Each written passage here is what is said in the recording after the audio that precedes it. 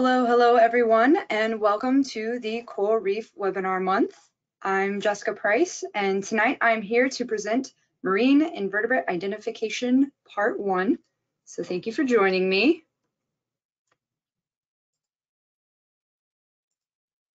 Each April, the Coral Reef Conservation Program from uh, the Department of Environmental Protection hosts Earth Month classes to teach folks about the wonderful creatures that inhabit Florida's coral reef.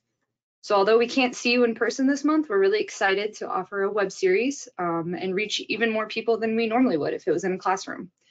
Uh, this is our schedule for the month. You can see that we have webinars pretty much every Tuesday and Thursday till the end of April. And I would like to draw your attention to Tuesday, April 12th.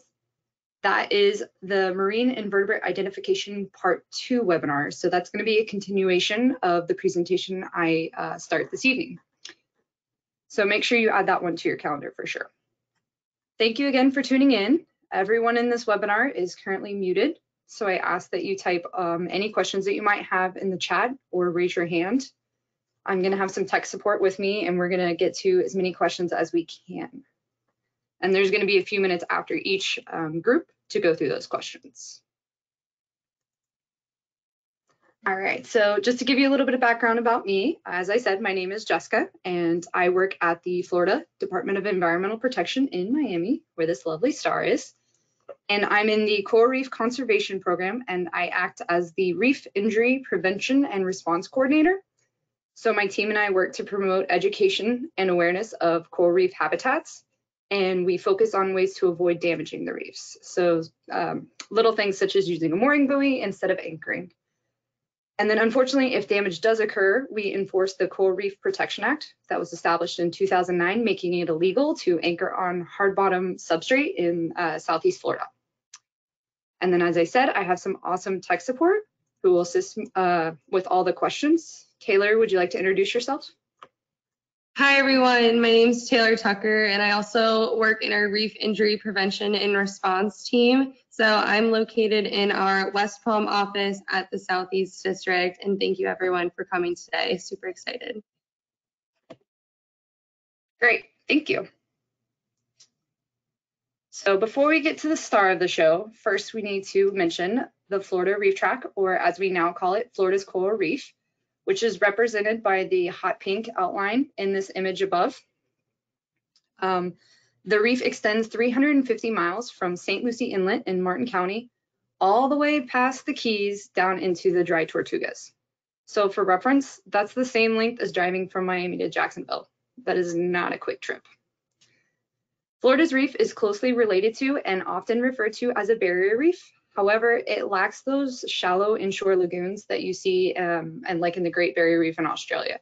So we actually call it a barrier bank reef. I would also like to point out um, this kind of a, a universal statistic that a lot of people in the scientific community know, but it's always important. Globally, coral reefs make up less than 1% of the ocean, but they house 25% of all species. So reefs are a large amount of diversity in a very small area, and Florida's coral reef is no different. So while the reef changes as it moves um, throughout its length and the type of diversity you have, um, there, there is really an amazing amount of animal and plant diversity. They're essentially cities of the ocean. Uh, and if you need like a visual reference in your mind for this, just think of an animated movie. So Finding Nemo or like Shark Tale, their description of the reef is pretty accurate. They're big cities. But it's human nature to ask why should we care? Reefs are pretty, but why are they important to the average Joe? Well, if you're tuning in from outside of Florida and not aware, Southeast Florida is a highly developed coastline. You can tell by just looking at this middle image right here. We have over 6 million people that live in Southeast Florida and 38 million people that visit annually. And this is actually an older statistic. That number has grown substantially in the last couple of years. And Florida's coral reef is the first line of defense and vital to shoreline protection to this, um, you know, city. And they do this by reducing wave action up to 90% and storm surges um, and flooding that occur during tropical storms and hurricanes. So it's very important that we have this reef offshore. In addition to the reef providing this um, biodiversity, and ecological benefits such as shoreline protection, it provides Florida with a $6 billion industry and over 71,000 jobs. And jobs um, include fishing, diving, and boating relating activities. This economy simply would not be possible without the reef system. All right, so let's get into the star of the show tonight, the marine invertebrates. Everybody cheers, I know. So tonight I'm going to cover what do we mean when we say invertebrate and why should we care about these animals. We'll walk through a very simplified phylogeny of the animal kingdom, showing parts of the tree of life. And then the bulk of the course is going to be identification of Florida common critters um, in the phyla Porifera, Cnidaria, Ctenophore, and Platyhelminthes. And if those words mean nothing to you, no problem. I really hope that at the end, you'll know a little bit more about them, if not more than you wanted to know. And then at the very end, we're gonna do a very rigorous, very difficult quiz. Just kidding. All right, so invertebrates are animals that neither possess nor develop a backbone. And that is all animals except for those in the subphylum Vertebrata. And the vertebrates are fish, amphibian, reptiles, birds, and mammals. So 97% of all species are invertebrates. It's kind of crazy to think about. Sadly, um, vertebrates get all the attention, and this is especially true when it comes to conservation. And I understand, you know, um, elephants and rhinos, they're larger animals. Um, they're often easy to put on television because they don't like to live in cracks and crevices like many invertebrates. The invertebrates are still important and many species of invertebrates are vital to maintaining ecosystems and uh, the coral reef. Examples of this are nutrient cycling and then also, also often being the base of the food chain.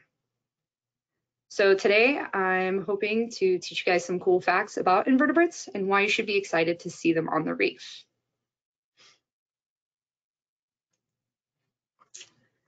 Now, when we talk about phylogenetic trees and organizing animals, we look kind of at the evolution of, of the animal. So if two animals have the same feature, it's likely that they had a common ancestor at one point that had the same feature. So for instance, if we go back to the subphylum Vertebrata, it's more likely that those of that group, such as mammals and birds, all had a common ancestor with a backbone, opposed to each one of those groups developing a backbone separately and independently. And this is common of what we see in um, sorry, evolution, but this is not always true. So in some cases, the same feature is developed independently. And a cool example of that is bats and birds. So both developed wings to help fly, but they did it independently of each other. So if you picture a bat, their wings are uh, essentially an arm, like a human arm, from the elbow down with their skin around it. And you know, they have a wrist, they have essentially finger bones opposed to a bird, which is kind of like, for reference, if you looked at your shoulder and then went down to your elbow, and then there's feathers extending off of it. So each of them developed these wings for flight, but they did it independently and they're in different phyla.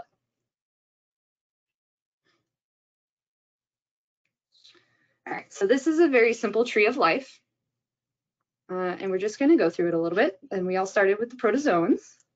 So we have sponges, cnidarians, which are your jellyfish, sea anemones, and hydras, ctenophores, flatworms, which are tapeworms and flukes, roundworms, which include the hookworms, mollusks, which include clams and snails, annelids, which are going to be your more complex worms, such as leeches and earthworms, arthropods, which include the insects and spiders, echinoderms, which include sea urchins and sea cucumbers, and then the chordates, which are that um, subphylum vertebrata, again, with the fish mammals, uh, I'm sorry, yeah, fish mammals, amphibians, and reptiles.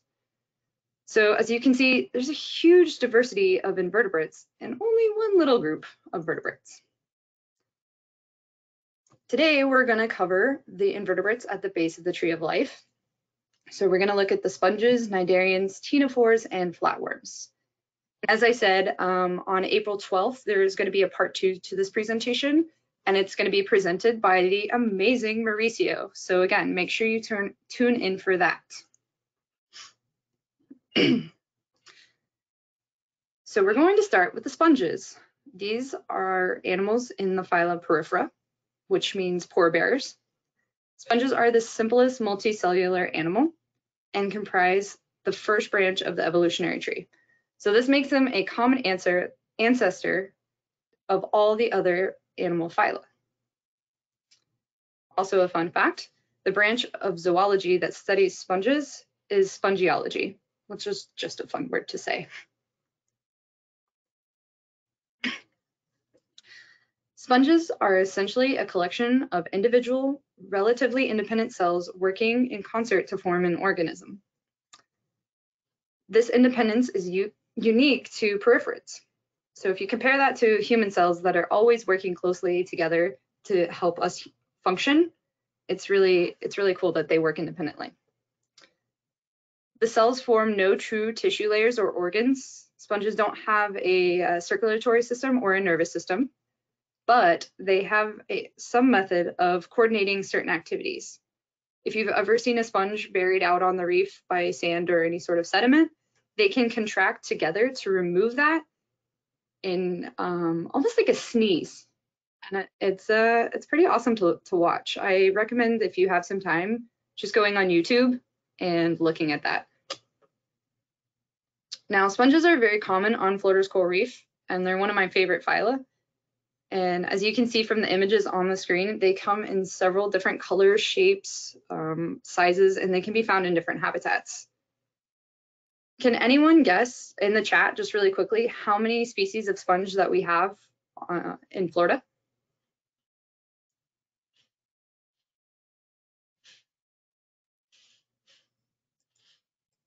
Right, for those of you who put 80, you are correct. Um, that number might be a little bit higher now. There are over 7,000 species described globally, but it's estimated that the total number of species is closer to 15,000. And it's tricky to classify sponges because there are so many, um, there are many species that vary in shape, size, and color, and it's actually just one species. So on top of that, they can also grow in different habitats and have a different shape based on what habitat they're growing in. There are some sponges that will be closer to shore and be more of an encrusting shape, but when you get further offshore, they actually kind of look um, more tube shape or pillar shape. Needless to say, it can be difficult for scientists to classify sponges. But don't worry, today I'm going to focus on common Florida sponges that are easy to recognize and do not have huge variation. Oh, and just one final note, um, they're a great food source for fish, turtles, and sea slugs. And they also provide a lot of habitat. It's something that uh, people think of corals when they think of habitat out on our reef, and the sponges actually provide a, a huge amount of habitat as well.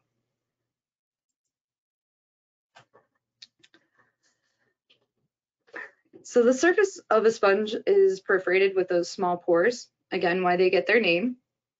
Water is going to be drawn in through these pores and pumped through the interior by a, almost like a whip. And it's an extension on the cells called flagella and those cells are choanocytes. And if you look at the images, and I'll break down what each one of these are in a second, but you'll see this red outline within each one of them, and that's the choanocytes. So when water is drawn in, as it passes through the sponge, food and nutrients are filtered out, um, and then like fresh water, well, not fresh water, but um, essentially clean water, exits the body cavity through an osculum. And these images on the screen are the organization types of sponge um, shapes.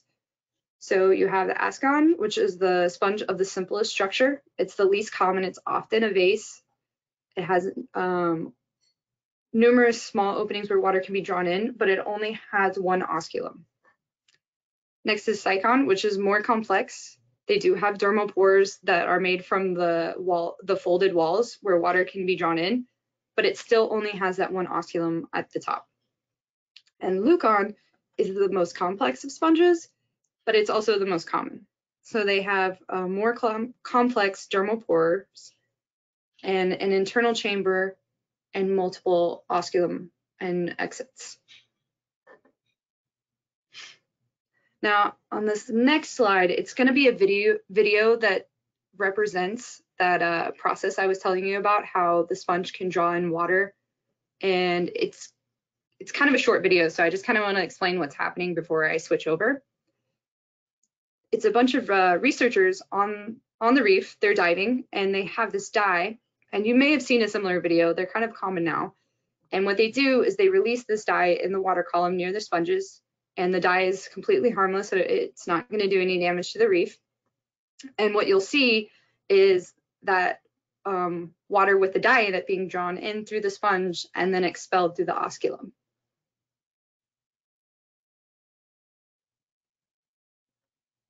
So hopefully it plays. Everybody is seeing this right now. So as I said, they're releasing that dye and you can almost immediately see the sponge expel the, the dye out through the osculum. It's a really fascinating process to actually be able to witness.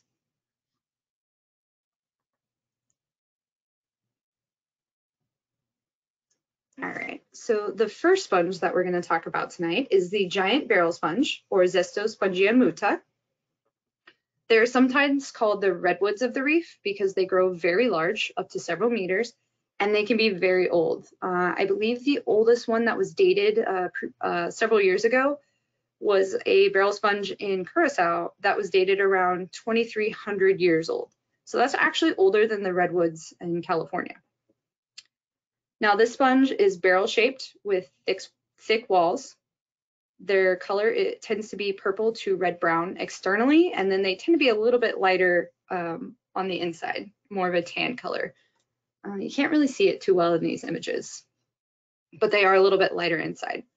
And then the surface has round or blade like outlines and then their consistency tends to be brittle or crumbly they're located in the mid reef range to um, deep coral reefs, so usually deeper than 10 meters. And they're also often found on steep slopes as um, you know the reef drops off. As I said, these are very, very large sponges. Their osculum is often large enough for a person to fit through. Um, please don't do that, but just for reference and size, it can be quite large. Um, the tissues of the sponge do contain a symbiotic cyanobacteria, which helps them feed, but it also makes them susceptible to bleaching in a similar mechanism that uh, corals struggle with. So eh, when they bleach, the symbiote leaves um, and their tissue will actually turn white. These bleaching events are not really understood. We're still doing a lot of research uh, in that regard, but they do tend to take place in the warm summer months, similar to how coral can bleach with the warmer temperature, water temperatures. Barrel sponges are also great habitats for other reef organisms, such as fish, crabs, and shrimp. And you can just see by this, um, these images, the assortment of diversity of the organisms that live within these sponges.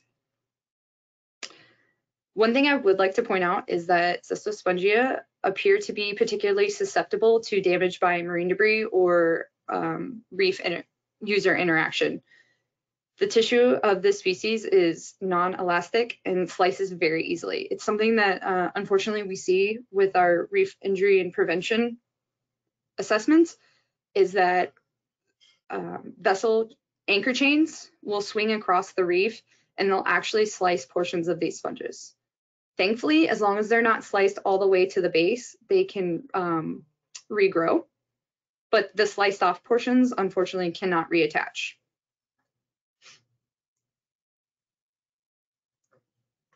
All right, the next sponge is one of my personal favorites, Cliona Delitrix, which is the red boring sponge.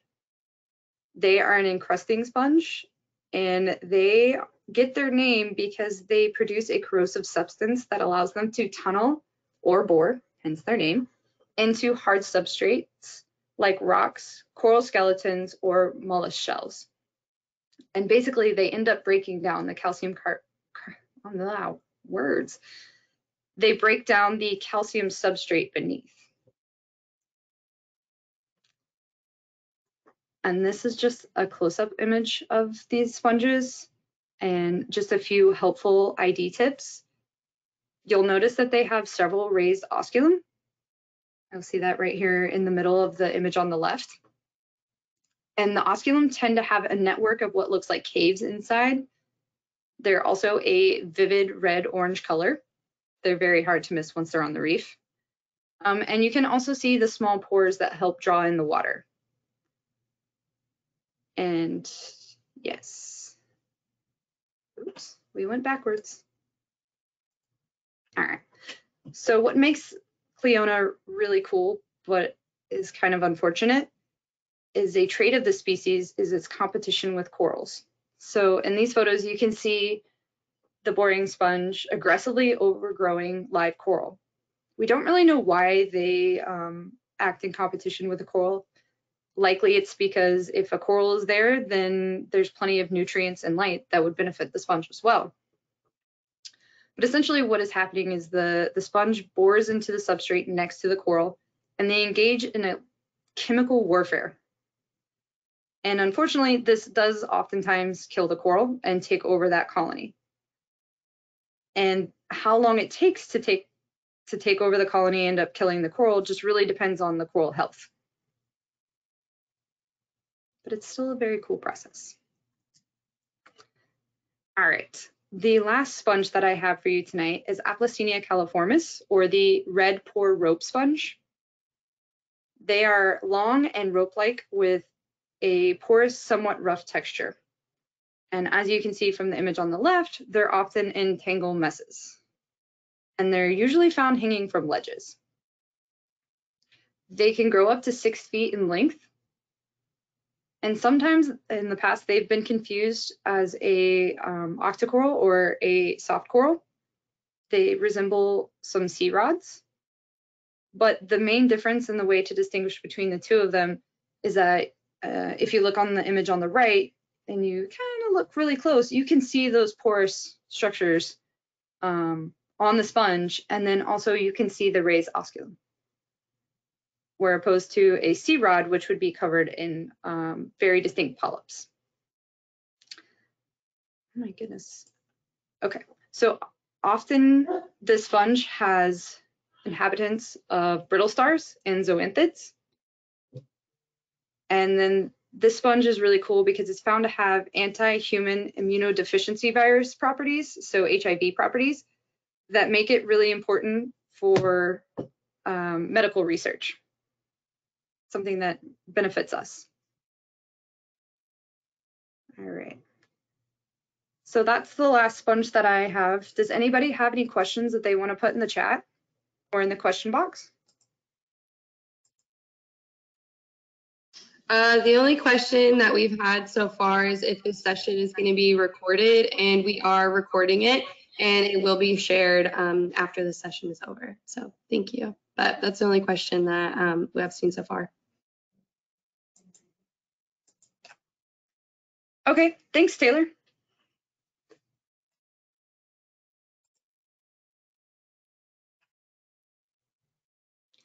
All right, so next up we have the Cnidarians.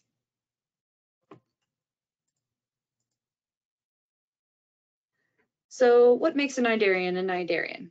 What connects these three different um, organisms? They all look very different. So what connects them? Well, cnidarians have a, have specialized stinging cells called cnidocytes, and within them they have um, structure called nematocytes. Also, cnidarians are um, have two life stages. So a medusa stage, which is the free swimming, or a polyp stage, which is affixed to a substrate. And these three different organisms we'll go into more detail in a little bit, but they're each representative um, of those different life stages. So the one up on the left is the polyp stage. they just stay fixed to the substrate. The one on the right, the jelly, is the Medusa stage, free swimming. And then the fire coral at the base is actually both. It has both life stages. And I'll go into more detail in a second. All right, so this is a close-up and um, and drawn image of those stinging structures called nematocytes. And you can think of them as envenomated spring-loaded harpoons. So they'll fire on physical contact. The animal itself has no control over releasing these stinging cells. They get no cue from the animal itself. So that's what makes tentacles of a dead jellyfish on the beach still dangerous.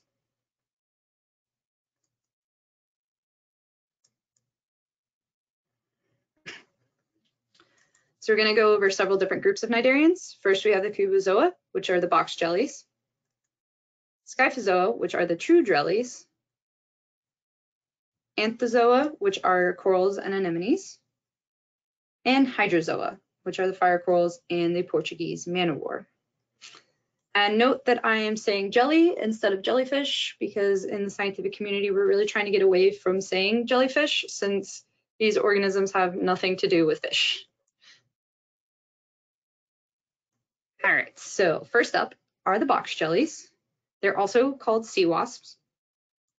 I'm not going to spend a lot of time on them because they're rarely found on reefs, and there's only four species within the Caribbean, and only one of those species is found in Florida, and it's actually found in Boca in mangrove habitats. So you're not likely to come across it.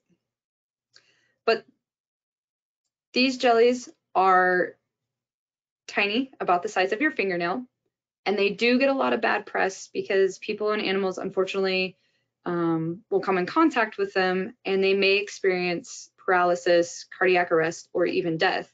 And this usually happens within a few minutes of being stung.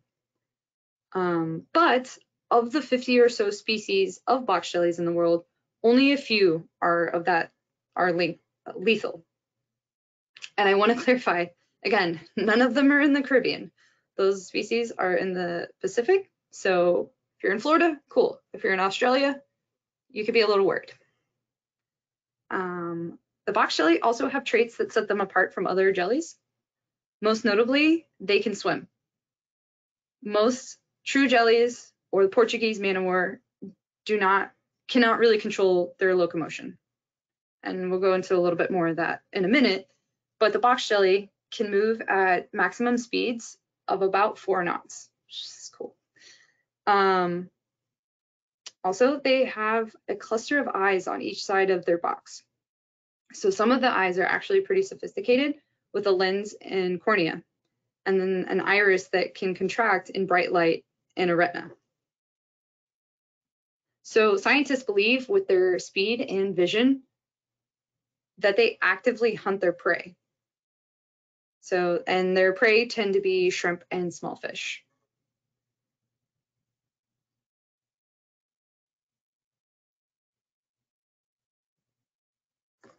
All right, next up are the Scyphozoa, or the true jellies. They're very common on Florida's coral reef. And these jellies have no durable hard parts, including no head, no skeleton, and no specialized organs for respiration or excursion. Marine jellies can consist of 98% water. They do, however, have a ring of muscle fibers around the rim of their dome or bell, depending on who you ask and what that's called. Um, the jelly swims by alternating and contracting and relaxing their muscles. So they're not really swimming. They're kind of, they have a little bit of control, but they're not actively swimming. So they're considered plankton. Most true jellies are gonochoristic, which means they have separate male and female sexes. However, in addition to that sexual reproduction, they, uh, many species can reproduce asexually too, by just kind of budding off a little clone.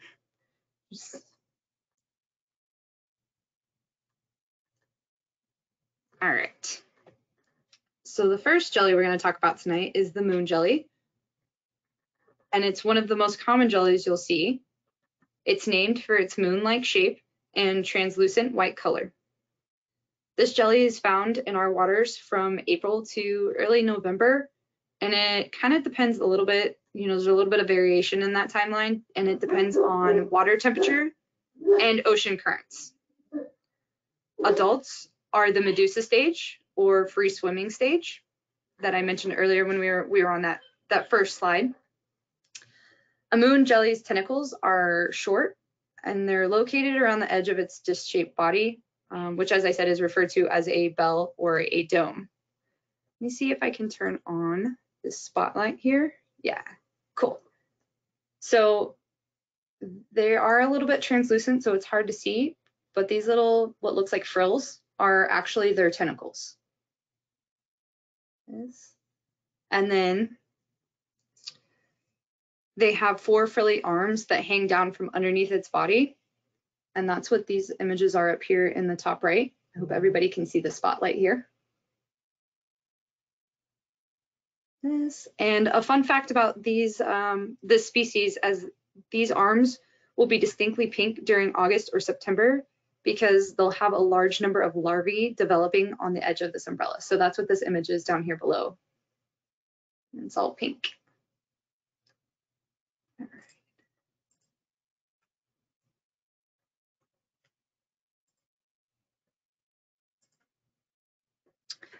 All right, so if you look at the moon jelly from above, you'll see four horseshoe shapes, which are the portions of its reproductive system. So the image on the right is kind of similar to the image we were just looking at on the previous screen. So you can see that pink translucent color, implying that they're developing larvae. Now moon jellies can grow up to a foot in diameter, and their favorite food, or I'm sorry, they're the favorite food of mahi-mahi and turtles.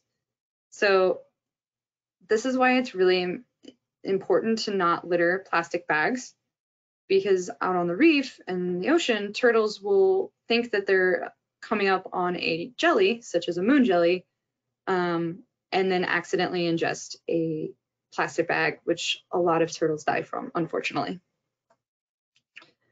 And then one last note about them, their tentacles are mildly toxic to humans and can cause stinging and rashes on bare skin. But as I showed you in the previous slide, their tentacles are short, so you have to kind of run right into them to be stung.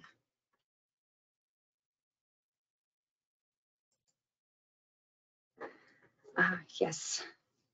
One of my other favorite animals, the upside down jelly. They're a flattened disc-like bell with branch oral arms, and they're usually a yellowish brown um, to white, or I'm sorry, yellowish brown color with white markings and they live in shallow sand flats in back reefs and lagoons. They're really cool because they have 40 mini mouth openings along their mouth arm, but they don't have a central mouth. So if you go back to the moon jelly, you'll see that in the in the center they have kind of a centralized mouth. The upside down jelly doesn't. They just use these tiny um, mini mouths to constantly feed. Now they're commonly seen resting on the bottom with their oral arms pointed up. And this is because they have zooxanthellae in their tissue. And when they're face up towards the sun, they can photosynthesize that way. And that's how they get most of their nourishment, which is similar to corals. Um, and then this relationship with the algae allows the jelly to live in oxygen poor environments which is why you often see them in mangroves, estuaries, bays. I mean, I've seen them, you know, at the edge of a boat ramp where people are constantly launching boats all day long, not the cleanest environment, um, but they're very common there. If you touch these guys, they'll produce a mild sting, um, but mainly it's more of, um, it itches more than it stings. And then the last thing I'll mention about them is that they can quote unquote swim. Um, but like I said, the jellies don't really have a lot of control over their, their movement. So when I say swim, I mean they can kind of get up into the water column and drift to a new spot if their previous area had been disturbed. So as I mentioned, you know, sometimes you see them by boat ramps. If somebody comes in and stirs up a lot of sediment, then they might move to a area, a different area. All right. So next up, we have the anthozoa, which are going to be the corals and anemones. So we're not going to be covering corals here today because they have their own um, individual webinar that's going to be occurring in the next couple of weeks.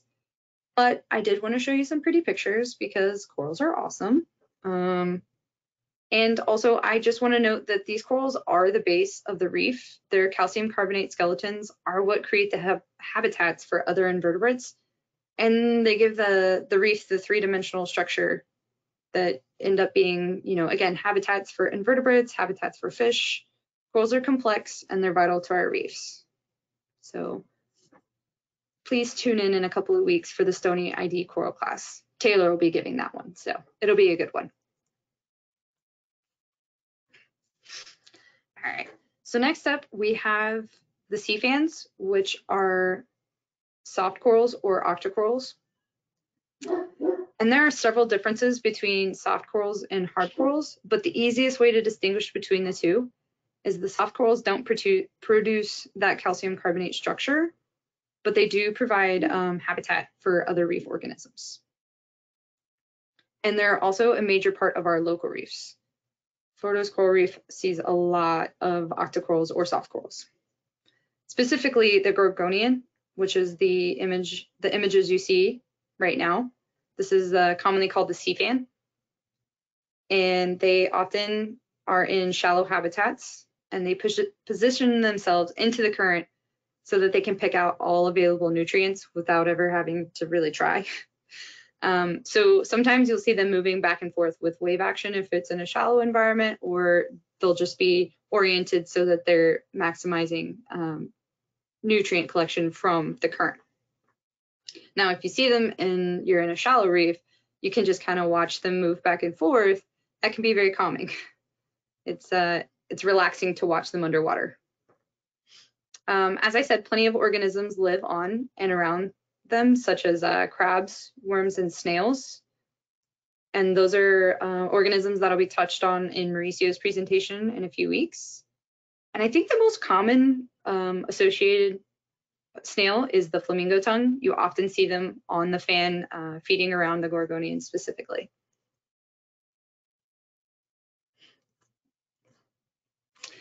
All right, so next up we have Palythoa, or the white encrusting zoanthid. Zoanthids are not as pretty as corals, um, but we have two pictures here, both with their polyps closed, and so you're not actually seeing tentacles. They can sometimes be mistaken for certain coral or sponge species because of this colonial formation. And while they are cnidarians and they do have those stinging cells um, inside. They don't form the same skeleton uh, that corals do. They just encrust over dead corals or rocks. Polyps usually are oblong shaped with almost like deep, deep cavern look to them. Um, so if you're ever questioning whether it's a zoanthid or a coral, you can kind of look at the polyp um, and if it looks deep and empty, chances are it's a zoanthid and you won't see the tentacle. Um, but if you see the polyp looks full, then and there's tentacles present, then it's probably a coral. And this species has kind of popped up um, and become more frequent on our reefs recently. So people have asked in the past if they're actually competing with corals, but I think they're mainly just opportunistic. You know, the our corals are unfortunately under a lot of stressors and they've been struggling in the last couple of decades. And these poly, Palythoa have just taken advantage of that available space. So they're not out competing the corals per se, they're just taking advantage of the fact that the corals aren't doing great. Now, this genus of zoanthid is known to produce a toxin called uh, palytoxin, so if you have an aquarium at home and you handle these guys, please be careful. This toxin won't do any damage to us personally, but it can kill the other organisms in your tank, which would be really sad.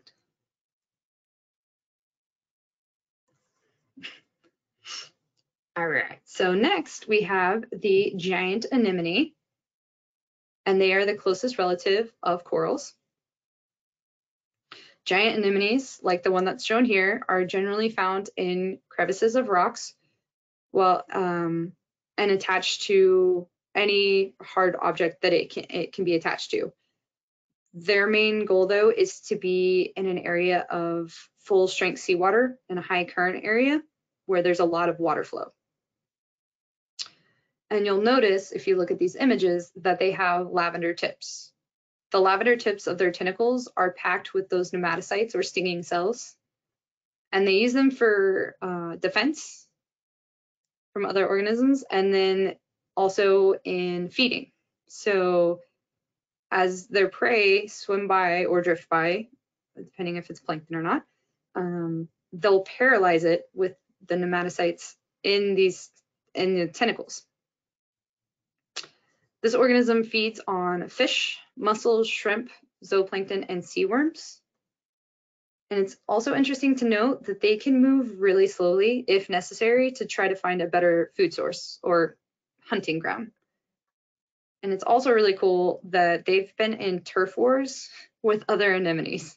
So they'll just sit down next to each other to see who can get the most food, and then eventually one of them will move. Now, they're about the size of uh, an open hand of an adult, and their tentacles can be six to seven inches long. And they're really pretty to look at on the reef.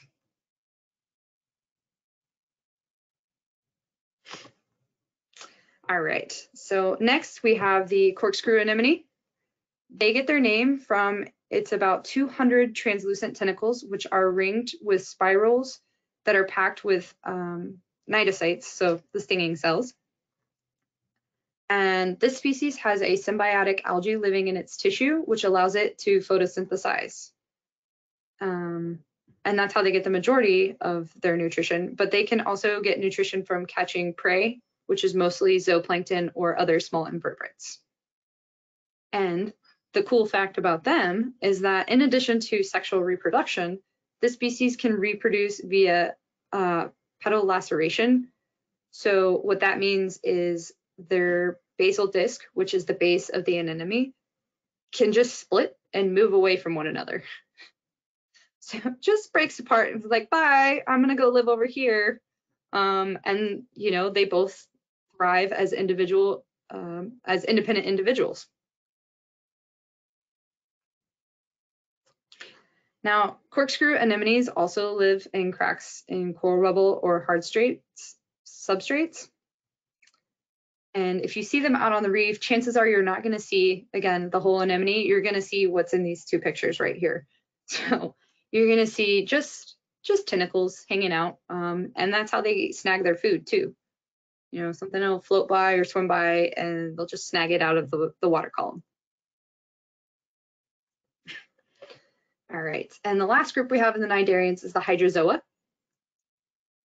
And first up in that is fire coral, which is a is a misleading name um, because they have nothing to do with fire and they're not actually coral. They kind of look like branching coral, I'll give you that. Um, and they do have painful stings, so maybe that's where they get the fire name from. I think it has more to do with their coloration, but you know, it could be. And they do build a skeleton, but it's brittle and it crumbles very easily. So it's not as durable as the true coral skeletons.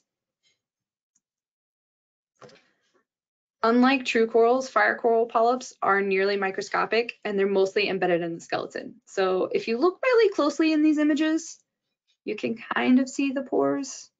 Um, but really the only reason you can notice them is because there's tentacles sticking out. And Millepora, which is their genus name, literally means a thousand pores, which is kind of cool. Fire coral also house uh, algae symbiotes, and they can capture tiny prey. But they just, they look really sharp. All right, and finally, we have the siphonophores. So if you've seen these guys out on the beach, you might think, hey, they're a jelly, right? Nope, They are actually not. This is the Portuguese man o' war, and it's a colonial animal made up of four distinct specialized polyps that work in concert um, to make the organism like a whole organism. And the way I remember this and how I taught myself when I did uh, my taxonomy course is I thought of Power Rangers.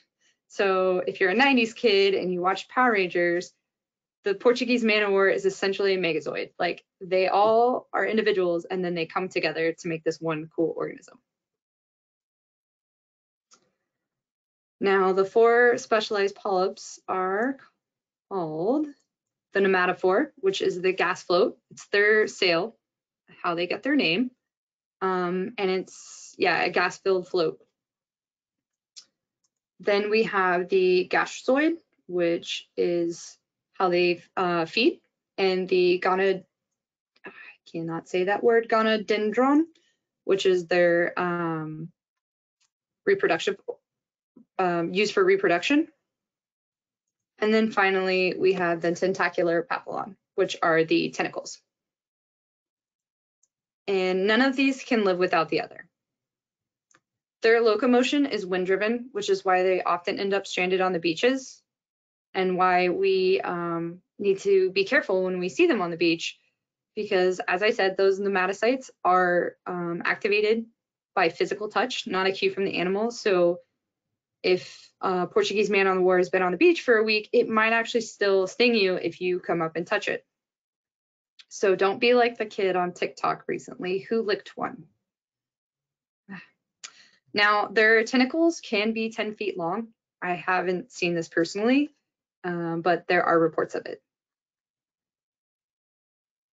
All right. Now that's all I have for the Cnidarians. Does anybody have any questions at the moment? Hey Jess, yeah, we have a couple questions in the chat. So the first one was, how do box jellies swim? So do you want to take that one or do you want me to? I'm sorry, can you repeat it? Uh, how do box jellies swim? Do you want me to take that one? Sure. Okay, so the way that jellyfish swim is it the action takes place in the jelly's bell, so the muscles contract to expel water, propelling the animal forward.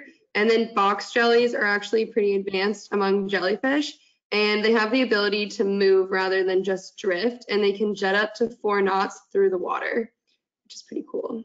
So that was the first question. And then the next one we had was, um, I'm not sure when this question came in, but someone asked, don't some people call them floating brains essentially? So I I haven't heard that one before. Have you, Jess? No, but that's that's a that's a fun nickname. Yeah, I agree. Um, and then someone also commented, yes, I've seen super long tentacles wash on shore.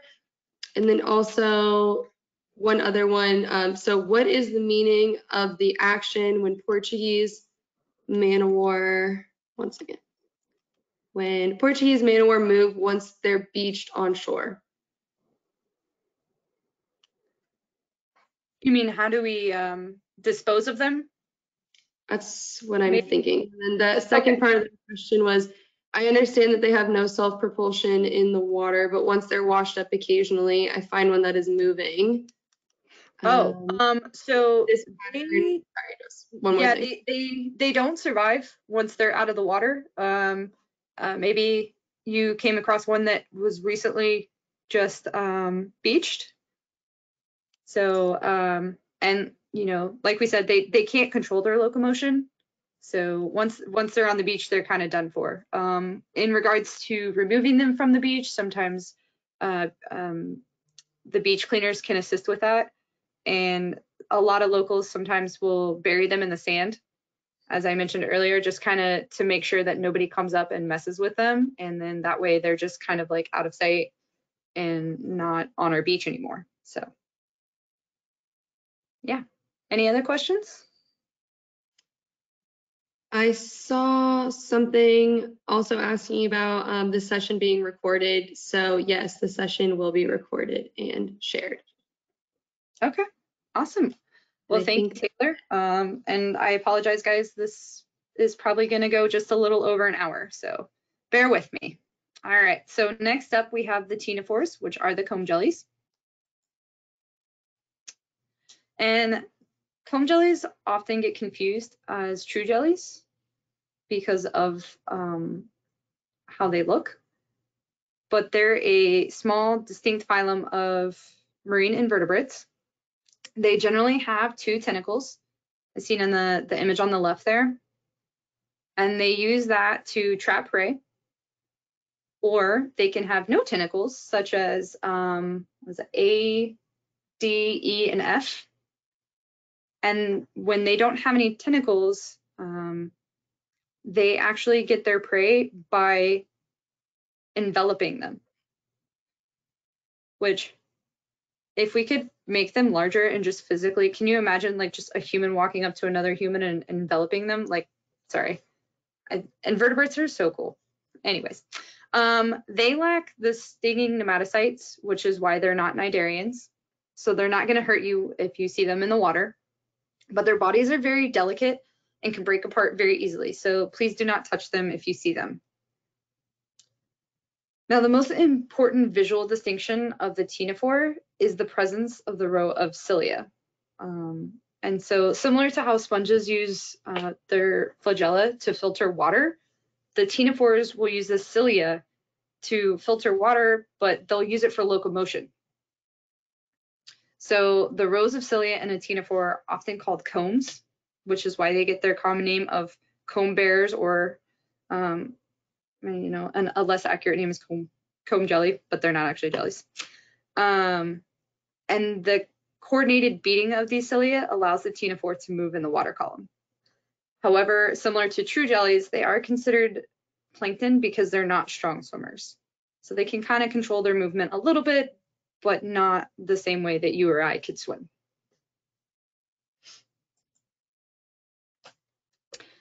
Now, the rainbow color of their uh, comb rows is, I'm sorry, let me say that again. The rainbow color of their comb rows beating is not caused by bioluminescence, but rather the scattering of light as the cilia move. So essentially the cilia are moving at such a rapid pace that it's um, it's causing diffraction. And this is a similar process that uh, creates a rainbow as light scatters through raindrops. Also, these animals do display bioluminescence at night if they're disturbed, but they can be really pretty. All right, and that's all I have for the comb jellies. Um, and we're gonna move into our last phyla, which is the flatworms. Hey, Jess. Yeah. Um, we have a couple more questions too.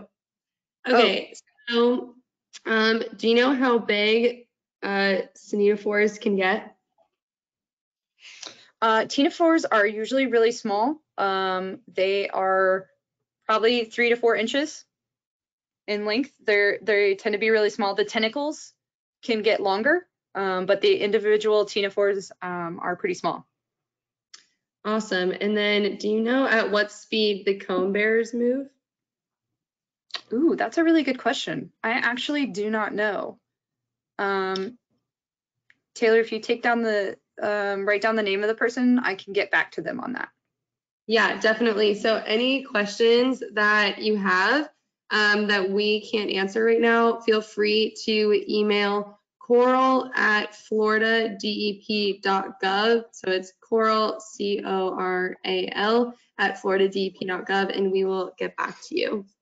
So, all right, next question. Do you know how old comb bears get? That's another really good question. I apologize. I, I do not know the answer to that.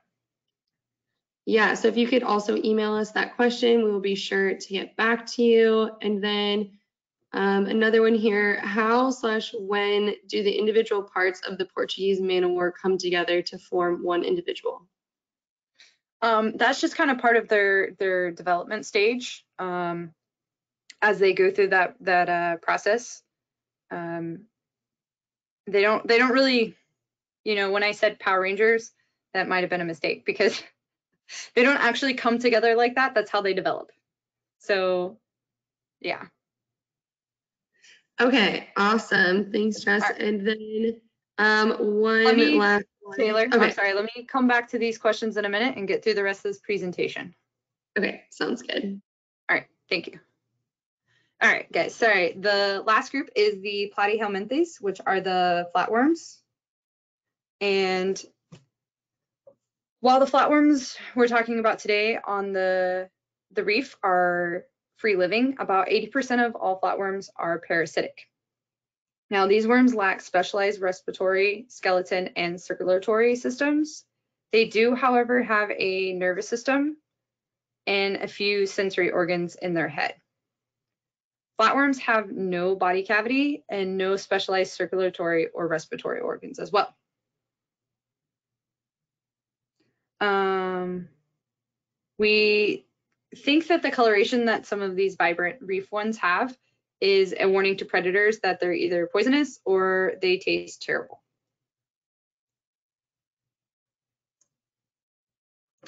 Also, I want to distinguish that um, the difference between Platyhelminthes or the, the flatworm and nudibranchs or sea slugs.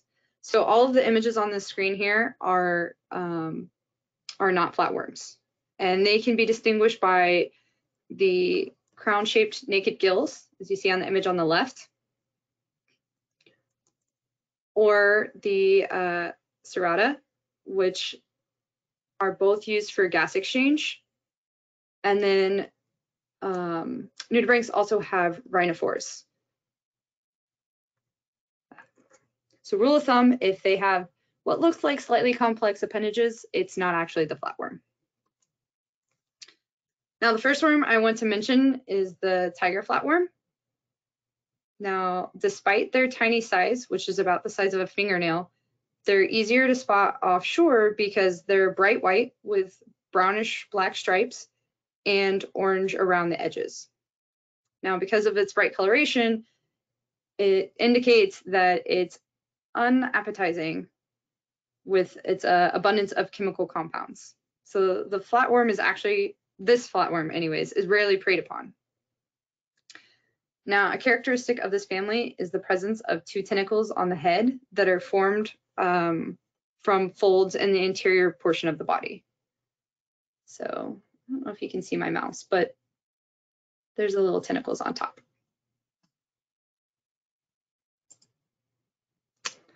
And as I mentioned, they are usually small, but they can get to the size of about a hand.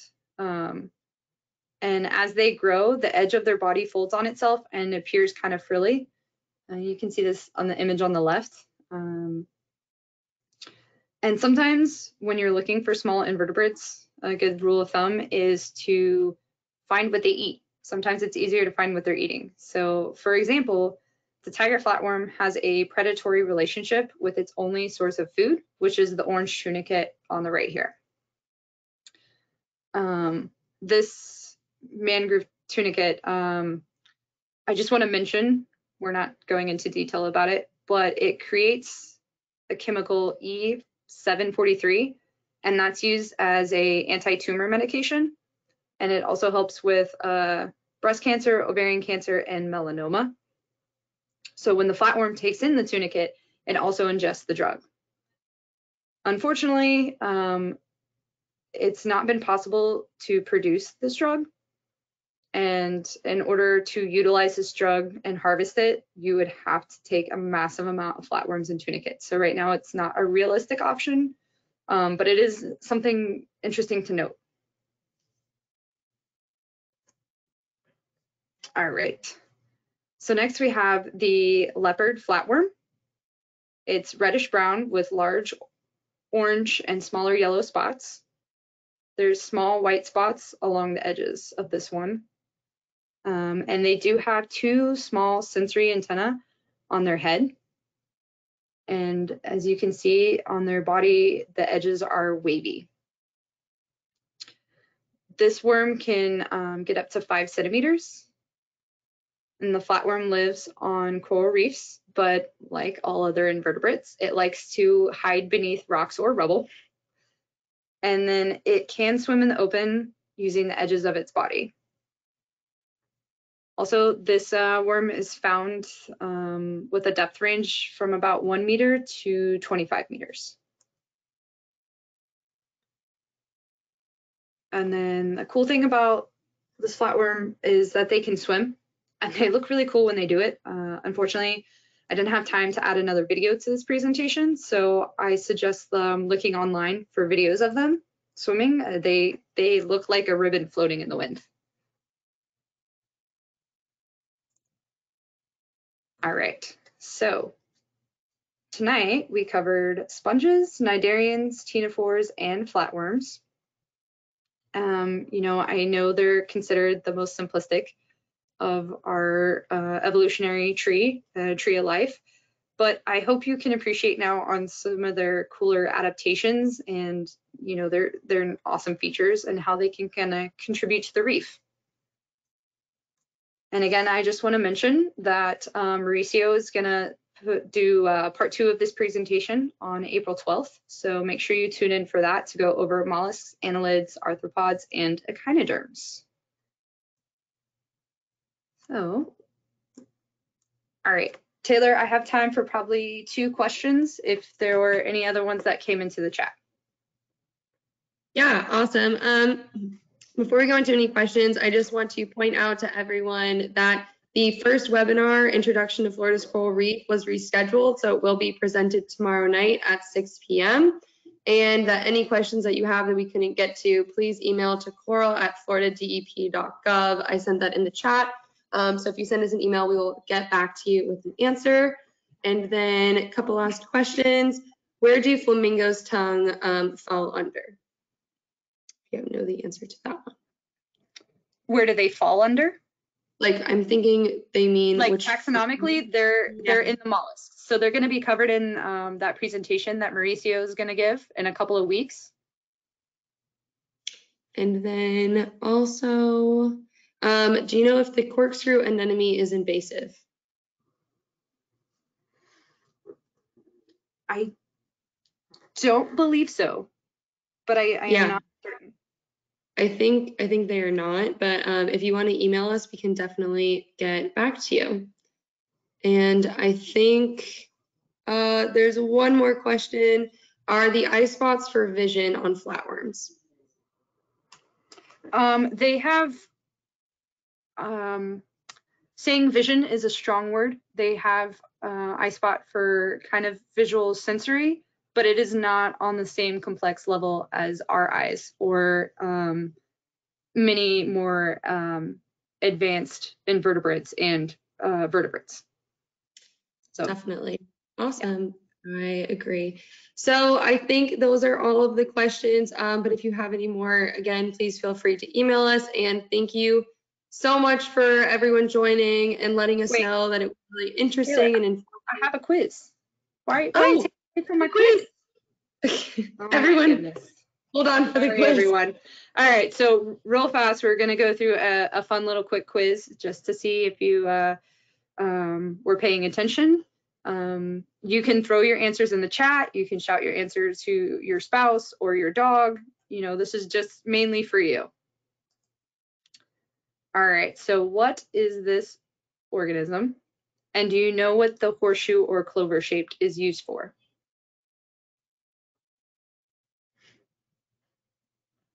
All right. For those of you who put moon jelly and reproductive organ, uh, organs, good job. Next, are these two animals in the same phylum? No. So one is a sponge on the left, the red boring sponge. And then on the right is the zoanthid, which is a cnidarian. All right, so what's the common name of this organism? And do you remember what the names of the four polyps were? Or what they're used for?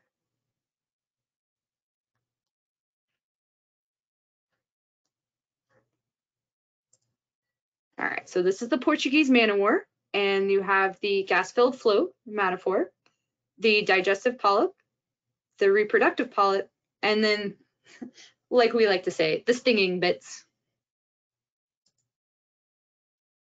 All right. Can you name this? And is it a cnidarian?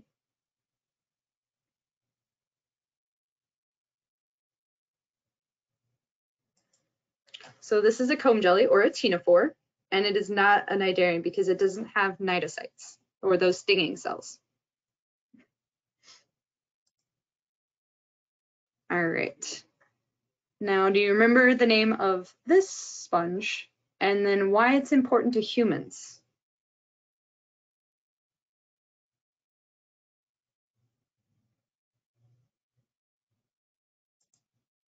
All right, so this is the red pore rope sponge, and it's important for biomedical research with those, um, with helping with HIV.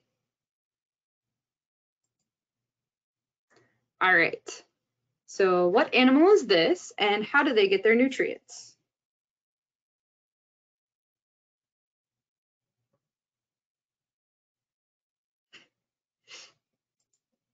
This is the corkscrew anemone and they do it by actively feeding and they um, do photosynthesis.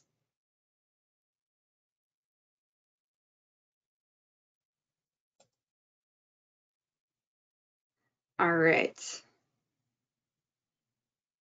So what is this?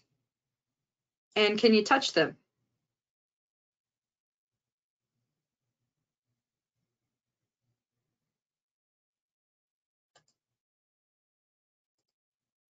This is fire coral. And no, don't touch them. That's a very bad idea.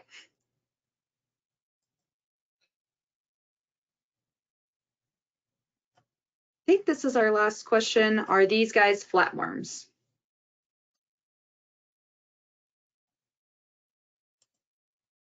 And the one on the right is a flatworm, but the one on the left is actually a nudibranch. And you can tell because of that crown-shaped naked gills on the back and their extended rhinophores on the front. And again, Mauricio is going to talk a little bit more about nudibranchs in his presentation on April 12th. Oh, just kidding. There's more. All right. So what is this organism? And do you remember what the name of the study of sponges is?